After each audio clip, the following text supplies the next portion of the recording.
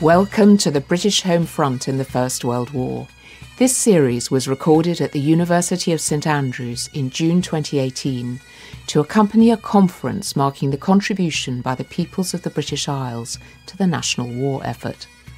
In this set of podcasts, we look at the impact of the war on society and family life. We hear now from Professor Louise Jackson about crime rates and policing. I'm Louise Jackson, and I'm a Professor of Modern Social History at the University of Edinburgh. Today, I'm going to be talking about the effects of the First World War on crime and policing across the four nations of the United Kingdom. The model of modern policing in the United Kingdom was pretty well established by around 1900. So, all parts of the kingdom had police forces. They were arranged on a county, borough, or city basis. So each area in England, Wales, and Scotland had its local police force. In Ireland, there were only two police forces the Dublin Metropolitan Police, that operated in the city of Dublin itself, and the Royal Irish Constabulary, that covered all other parts of Ireland. It was initially set up as a colonial military police force. However, by 1900, it was effectively performing the same role as a civilian and civil police force in other parts of the United Kingdom.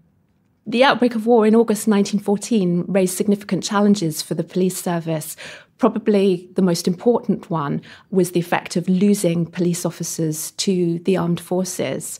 A large number of police officers volunteered and signed up during the course of 1914 and 1915 to such an effect that if we look at the Metropolitan Police, a quarter of officers had left the police service within the first year of the war. In Scotland, a third of police officers had signed up by the end of 1916. When conscription was introduced in 1916, the police service was not a reserved occupation, which meant that officers could still be called up and indeed conscripted into the colours there were quite a lot of tensions between chief constables who wanted to retain good police officers and the requirements of the military, who were very keen on police officers because they were often significantly healthier and of better physical build than the rest of the population. In many police forces, the height requirement was 5 foot 10, 5 foot 11, or even 6 foot.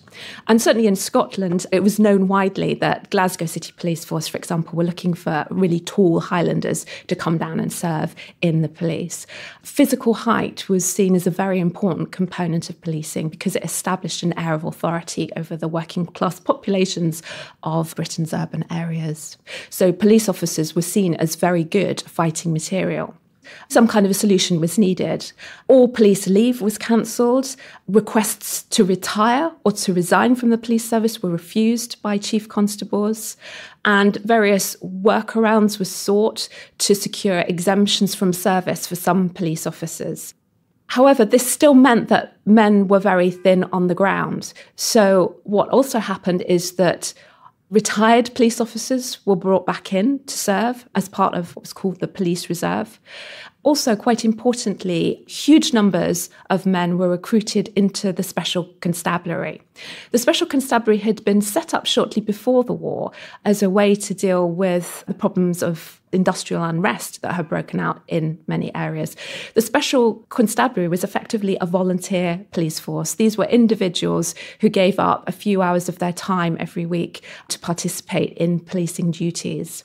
Across the war period, 122,000 special constables were recruited in England and Wales, and a further 16,000 in Scotland. That sounds a huge number, and it was something like four times the number of regular officers.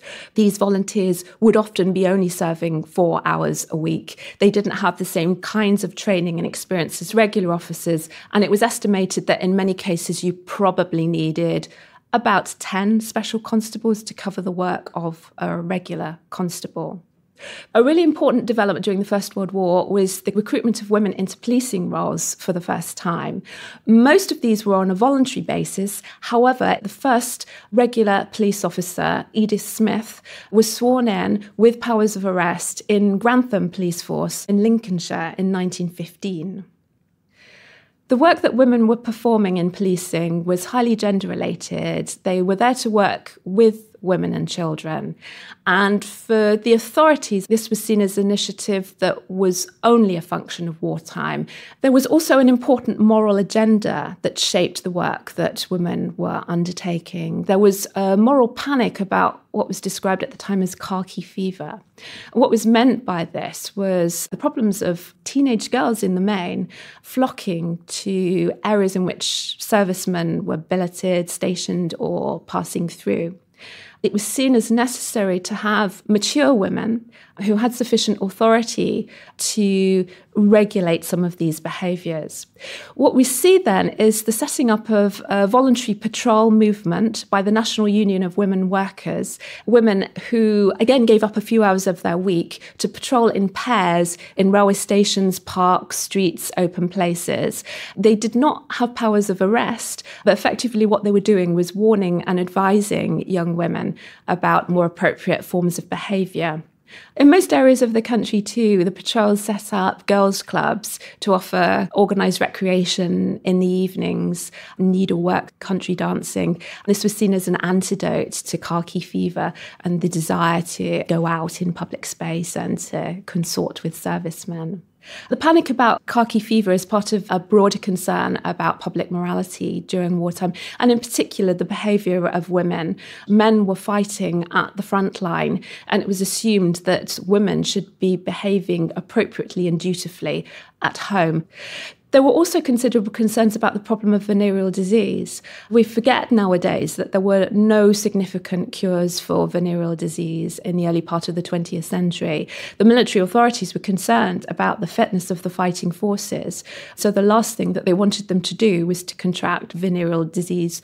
This is one of the reasons that explains why there was what we would see now as a very heavy handed approach to the behaviours of women in particular. There was effectively effectively a sexual double standard in place in that women are seen as the problem that need to be surveyed and regulated in order to protect the bodies of fighting men. This meant that the activities of some of these early women police were controversial, and there were debates within the feminist movement about whether they should be doing this or not. However, the early women police officers were beginning to create an important role in relation to something that has become a burning issue today, which is to do with the abuse of children. So, another aspect of their wartime roles was the taking of statements from women and children in cases of assault and abuse. And in fact, the first woman police officer in Scotland, Emily Miller, was appointed in 1915 with precisely this role. She was in plain clothes, she was working within CID, and her brief was to work with women and child victims and to take statements. The recruitment and then conscription of men of fighting age, 18 to 41, into the armed forces, removed from the country, that group of the population who were most likely to offend. Historically, the vast majority of people who were tried for crimes in the country were young men, men in their late teens, 20s, 30s. In England and Wales, prosecutions for serious crimes in the higher courts dropped by 60% between 1913 and 1916, but the courts were overwhelmingly processing men. There was still an adult male population that was very much part of the home front. Those in reserved occupations, those who were deemed unfit and who were exempted on medical grounds, a small number of conscientious objectors. There was a noticeable decline in particular types of offences. It was commented on at the time that there was a drop in sexual offences. Although there was an overall drop in serious offences, there were concerns about increases in criminal behaviour by other sectors of the population. The most important one here is that of young people. There was a moral panic about juvenile delinquency during the First World War. From the early months of 1916, the newspapers were commenting on what they called the bad boy problem boys misbehaving and who appeared to be coming into the juvenile courts in droves. They were accused of what we would now see as very trivial offences cases involving low level property offences, minor thefts, vandalism. Juveniles were those aged 8 to 16, and in 1917, over 3,000 of those who were brought before the juvenile court in England and Wales were accused of apple scrumping. There was extensive public debate about what might be causing juvenile delinquency. The problem was blamed on absent fathers, because it was fathers who were assumed to be capable of disciplining their sons, mothers who were working and therefore not there to look after their children. There were concerns about disruption to schooling, given that many schools had been commandeered by the army and school hours had been reduced. There were even concerns about the effect of cinema attendance that was seen as demoralizing and putting bad ideas into young minds. There was also discussion of the general excitement of war, which was seen as having an effect on young people's behavior. Asquith was Prime Minister at the time, and his Home Secretary proposed a number of solutions. The most important of these was the expansion of the youth movement, the Boy Scouting movement, youth clubs, lads clubs. He saw these an important antidote to the bad boy problem. He was concerned that scoutmasters and the organisers of youth clubs had been recruited into the armed forces, and that this was one of the reasons why more boys were misbehaving. As a result, we do see an expansion of the work of youth clubs and a further decline in the activity of the juvenile courts in 1917 was interpreted as a success of this initiative. Of course, this was nothing new. The Scouting movement had been set up in 1908 by Baden Powell in response to the male youth problem of the time. The idea that teenage boys had nothing appropriate to fill their time and were hanging out on street corners. So, what happens in the First World War is a development and an extension of these concerns. What is really important about the First World War is that government gets involved and effectively rubber stamps the roles of these organisations, sees them as a concerted antidote to juvenile offending, and thus youth organisations become part of a national preventative response to juvenile delinquency. The volume of police work expanded during wartime. This was largely in relation to the Defence of the Realm Acts and regulations and all the emergency regulations that were put in place. Police officers were told that they needed to inspect and protect vulnerable points such as harbours, ports, viaducts, railway stations, all the points of ingress and exit. This involved a massive surveillance operation. They were also involved in registering aliens, which is a term that was used to talk about immigrant populations or those who'd come from other countries and were resident in the United Kingdom an important component of their work too was the enforcement of the lighting regulations. There was to be a blackout because of concerns about invasion. Initially, this was to do with invasion by sea. So it was coastal police forces that were instructed to keep close surveillance of the coastline and to ensure that anybody who had a house that was sea facing dimmed and put out their lights at night. But of course, as we move further into the war and the prospect of aerial bombardment becomes a reality, the blackout affects everybody. Initially, police officers were warning people and advising them that they needed to put their lights out. But after the Zeppelin raids of 1915 and 1916, police officers received instructions that they really needed to ensure that they prosecuted people who weren't obeying the regulations. For this reason, we see a very significant rise in the activities of magistrates in the lowest courts. So, a huge volume of prosecutions under the Defence of the Realm regulations were coming to their attention in 1916 in particular. Although conscription was never, in fact, enforced in Ireland, there were significant problems with manpower in policing there. The Royal Irish Constabulary lost significant numbers of men to the armed forces through voluntary recruitment. And there was a moratorium in the RIC on resignations and retirements, as in other parts of the United Kingdom. The war had a significant impact on Ireland in various ways. The sinking of the Lusitania off the Irish coast in May 1915 created a huge amount of work for the RIC, who had to respond to the situation, sort out casualties, deal with dead bodies, inform relatives, and this kept them occupied for a considerable number of months.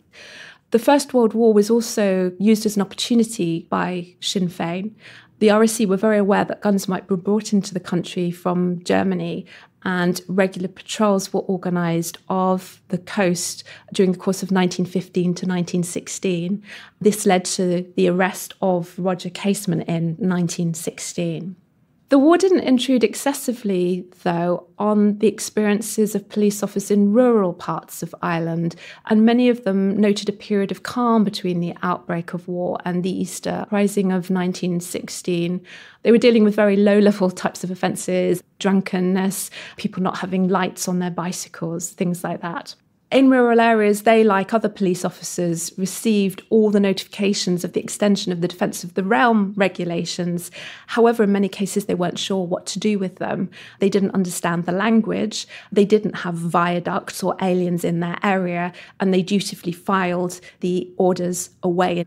Of course, the Easter Rising of 1916 was to rupture this apparent calm there was a week of violence, mostly in Dublin, in which nearly 500 people were killed, including 16 police officers. However, at this point, the RIC themselves were not a specific target. However, there was undoubtedly a very significant shift in attitudes towards the RIC that emerged after the execution of the rebels because this was deemed to be an overstepping of the activity of the state and an improper use of martial law. The police now came to be seen with suspicion, whereas previously they felt that they had been treated with considerable respect by local populations. A major challenge for policing was civil unrest in England, Wales, and Scotland, most notably in relation to the anti German riots that erupted in major cities in response to the sinking of the Lusitania in 1915. The riots were spontaneous, the police were under significant pressure, the police couldn't cope.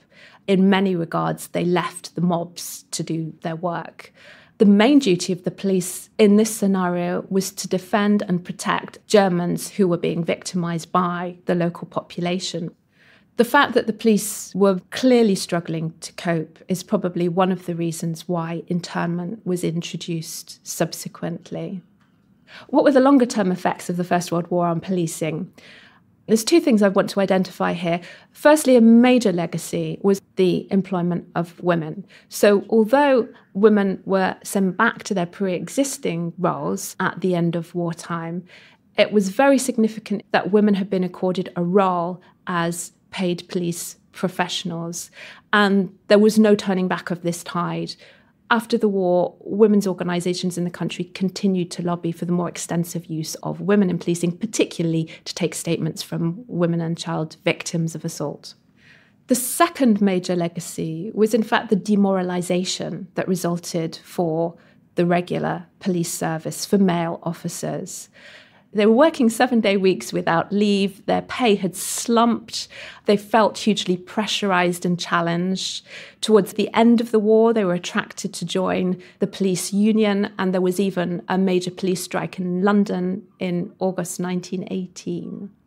However, what we see at the end of war is a rewarding of the police for the duties that they had performed in wartime and a recognition of the extent that they had gone to. There was a very significant increase in police pay and conditions as a result of a major review in 1919.